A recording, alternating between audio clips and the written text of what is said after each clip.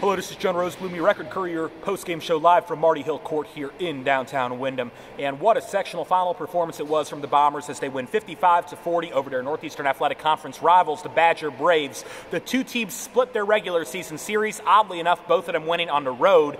Um, so this was the rubber match here tonight. It was a really hot and high-scoring first quarter. Seven three-pointers combined from the two teams. Badger with four threes, Windham with three threes. Burt Jones had a couple of three-pointers early on to help help them keep pace. Uh, and they needed to keep pace because Jack Lendak hit three three pointers for Badger in that first quarter. So again, the teams are trading three pointers back and forth in the first quarter. There were actually six possessions in a row with made three pointers. But from there on out, Windham really clamped down defensively. And you have to give a lot of credit to Colton Majorca, who I thought did a terrific job against a 1,000 point scorer, a senior, one of the best scorers in the area, Logan Lendak for Badger. And I thought Colton Majorca did a great job closing out on his three point shots and getting the hands in the face pretty much every single time. You also have to give a lot of credit to Clay, Clay Dean, who I thought was terrific on the defensive glass. Great box outs, great vertical. Uh, great job coming down at the ball strong and not letting someone steal it away from him. He had what Marty Hill said might have been his best game of the season. Um, and just overall defensively, you also have to credit Ericq Williams, who came off the bench.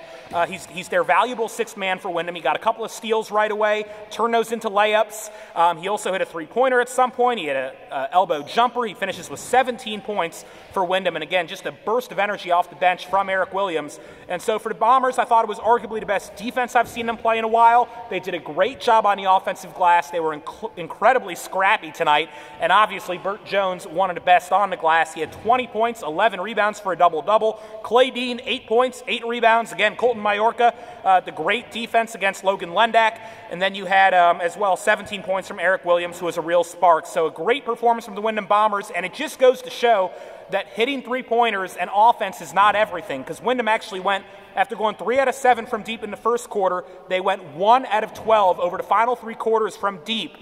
But it doesn't matter when you defend and you rebound and you hustle the way the Bombers did. And as a result, they are heading to Grand Valley High School for district basketball. Reporting live from Marty Hill Court, Jonah Rosenblum, Record Courier.